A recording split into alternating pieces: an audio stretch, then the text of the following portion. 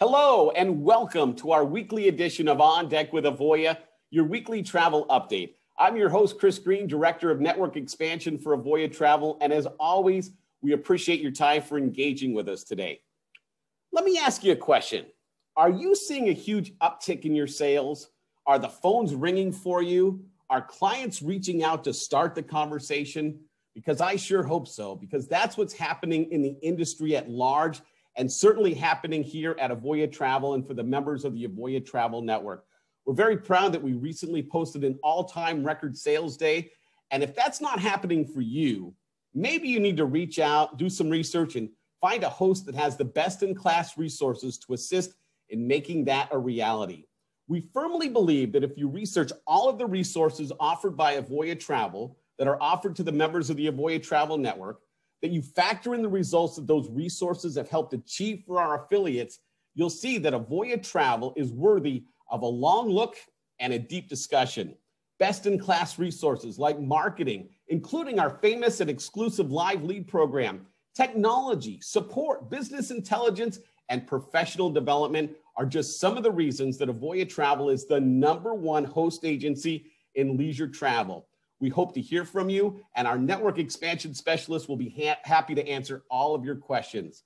Now, speaking of professional development, we're going to do a deep dive today into Avoya Travel's Avoya University with my featured Meet the Team guest, Sandi Magoon, Director of Avoya University. Sandi will be joining us for that discussion in just a few moments.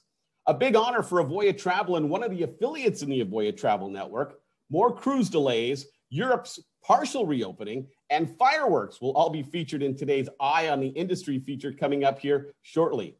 Are you new to the industry? Are you hoping to start an amazing business and career in travel sales?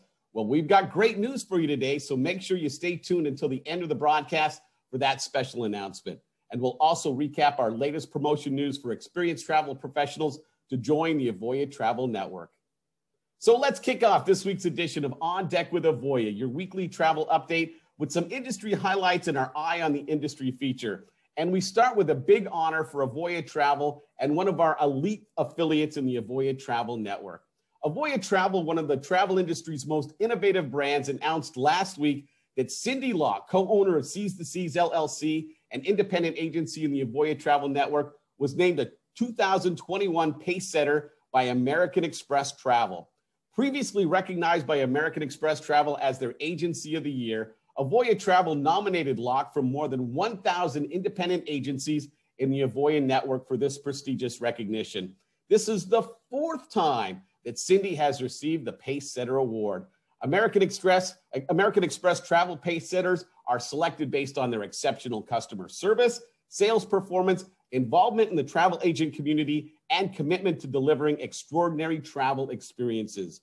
Locke co-owns and operates her own independent travel agency, Seas the Seas LLC, in partnership with her husband, David Locke.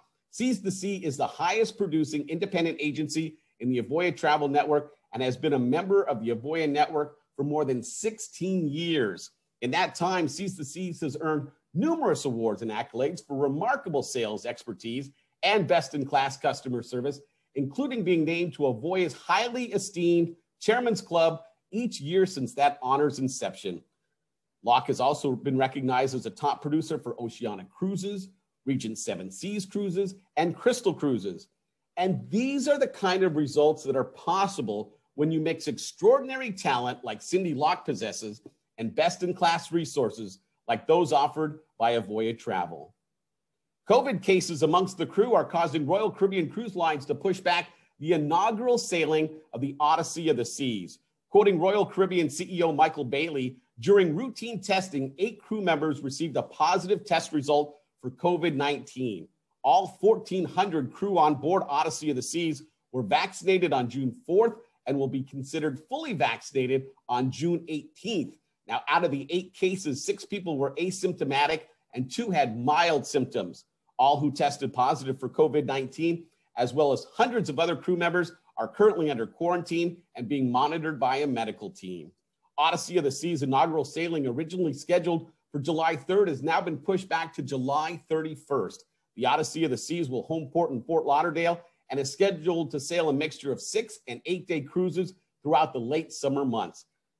Now, the fact that things are still rapidly changing is a clear sign that your clients need you, which means you need to stay on top of the latest information and having a network that supports you in the right way is a huge step in that direction.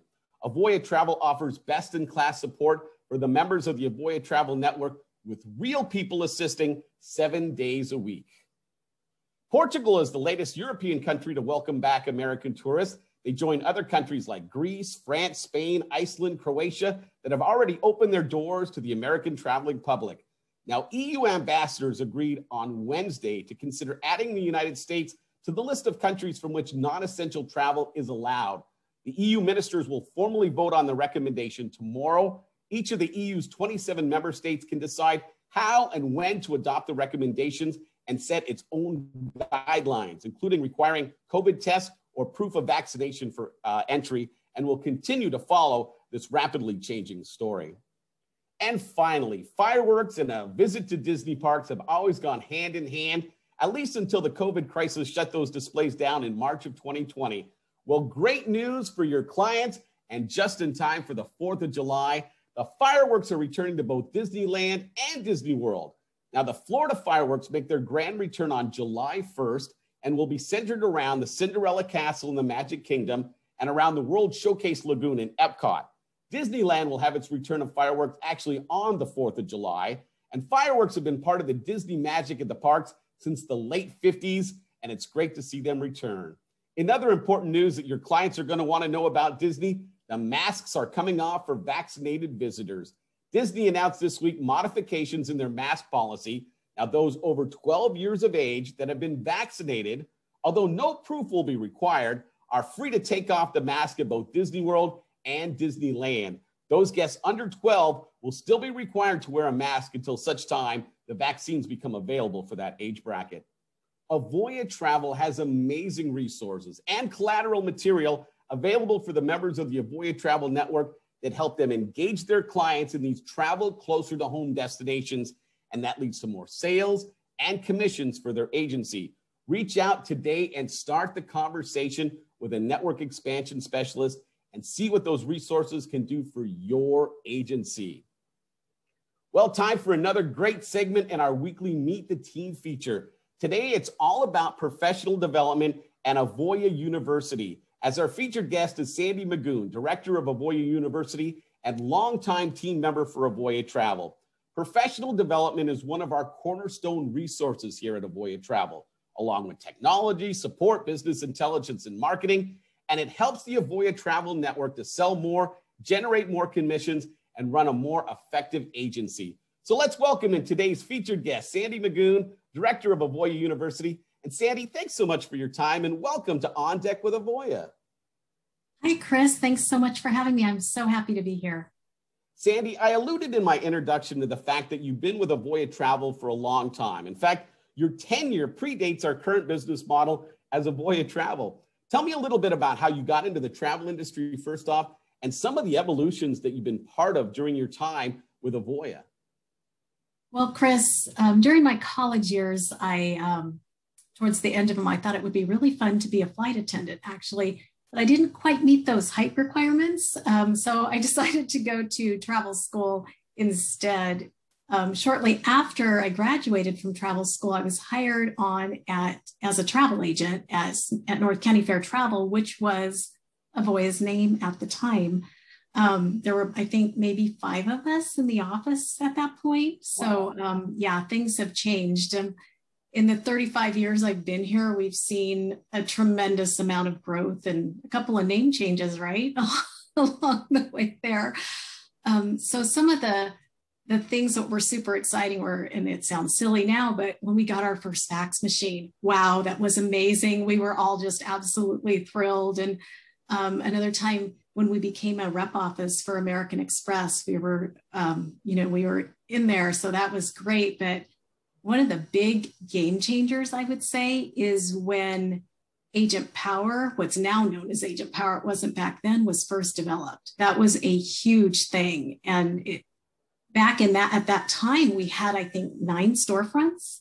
And I used to, I had from being an agent to accounting. I was in education at the time. I would drive out to those storefronts and show everybody how to use our amazing new systems. So been in education ever since and I, I just love it. I mean, look at us now, Chris. We're one of the leaders in technology. We've come so far.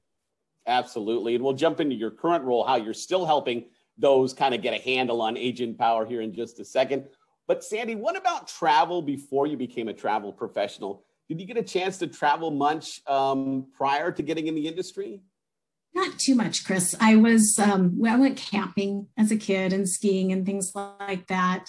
Uh, my grandparents took me to Hawaii with my brother. That was fun, but um, I still consider it younger years. I went to Canada on my honeymoon. So, yeah.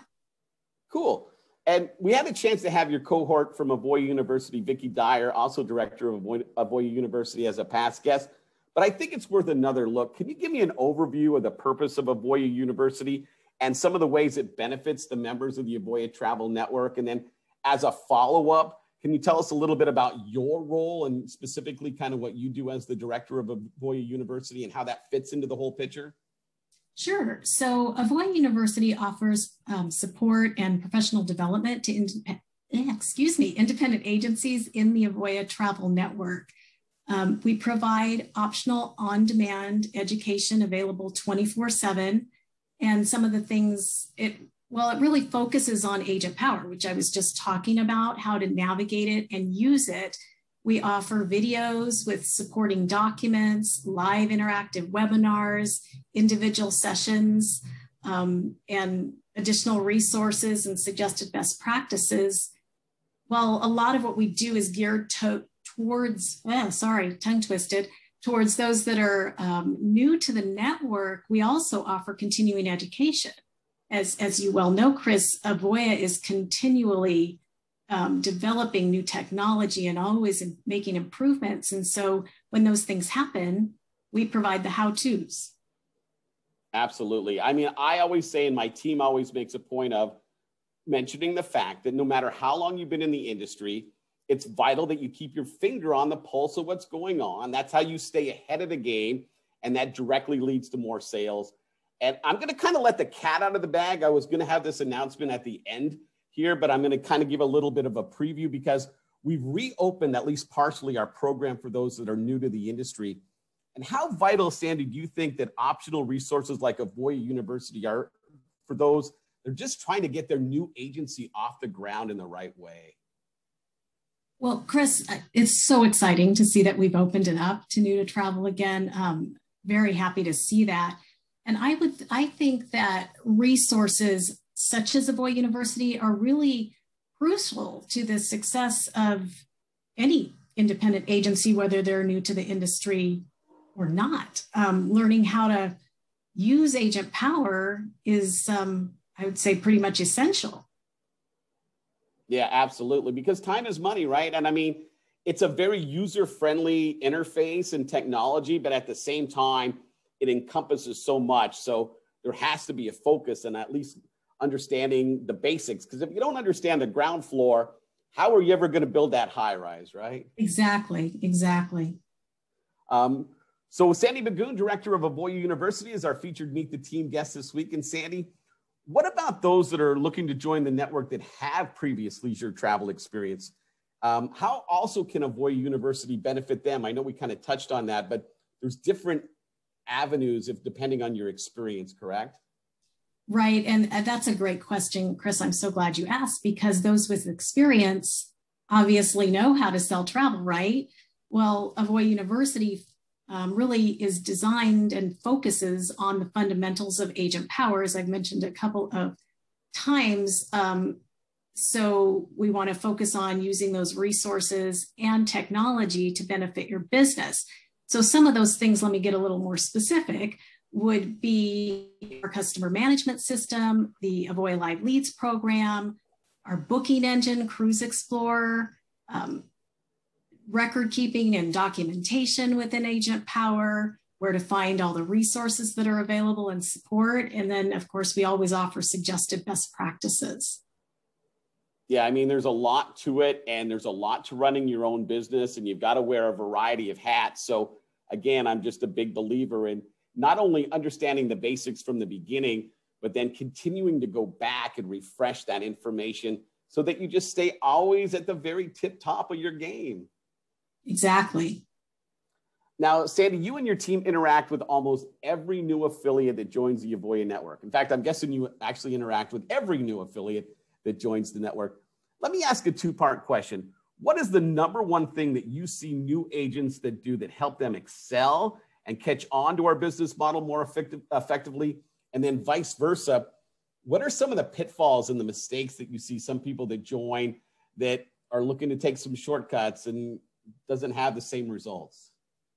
Um, Chris, that's it. Well, in my experience, and it's going to be very hard to keep this down to one thing, but in my experience, the most successful independent agencies tend to complete Avoya University and are enabled for live leads very quickly. So they, they like to get going right, right off the bat. Um, some of the qualities that seem to be consistent amongst those successful agencies are they have good communication, they're actively engaged in the education, uh, they're willing to learn new processes, and also they are committed to putting in the time and effort. They really understand that they're this is their own business that they're running, and um, they take full advantage of the ongoing education and professional development opportunities. And then what about those that kind of fail to hit their stride? Is it just the reverse of that in some cases? Yeah, so I would say really um, not taking advantage of those opportunities and resources, and also maybe someone who approaches the education reactively rather than being proactive with it. And I'll go back to the resources for a second. It's it's not just Avoya University.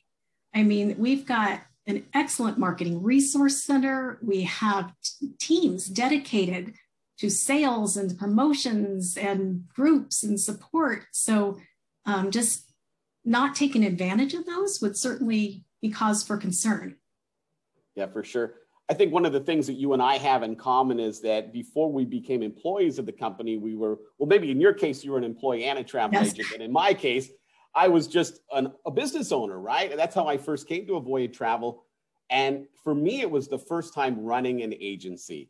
I'd been in sales, I'd been an all star performer at a couple of different spots. Sales were not my issue, but trying to grasp the nuances of forcing myself, the employee of my own business, to live up to the same standard that I knew the owner would want me to have, I thought that was a bit of a challenge. And I found that Avoya University, our other resources like our mastermind program, really help drive that and put it into focus. Would you agree with that? I would completely agree with that.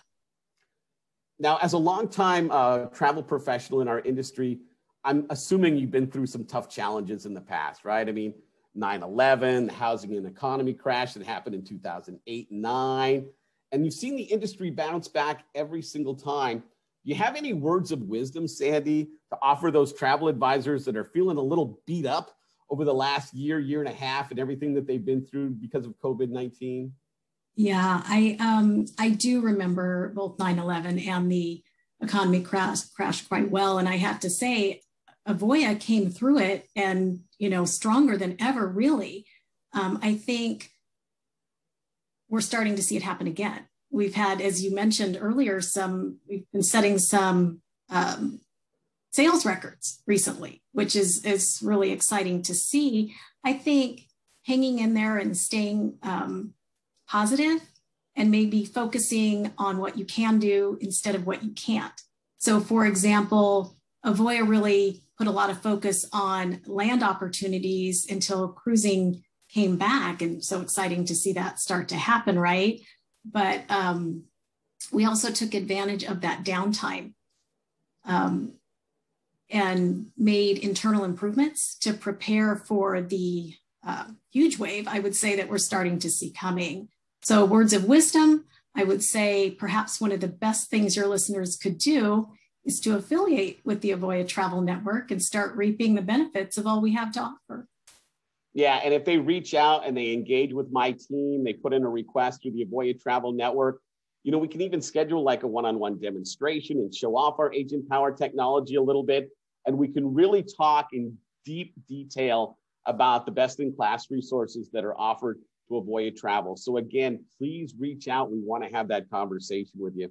Sandi Goon is our special guest this week, and Sandi is the director of Avoya University, a key resource here at Avoya Travel and for those in the Avoya Travel Network. Sandi, let's move away a little bit from your role here at Avoya Travel to just you, the person outside of work. What kind of things do you like to do for fun when you're not helping those in Avoya University? So outside of work, I love to spend time with uh, my family and friends, and we haven't been able to get together in those um, larger groups, of course, like most people.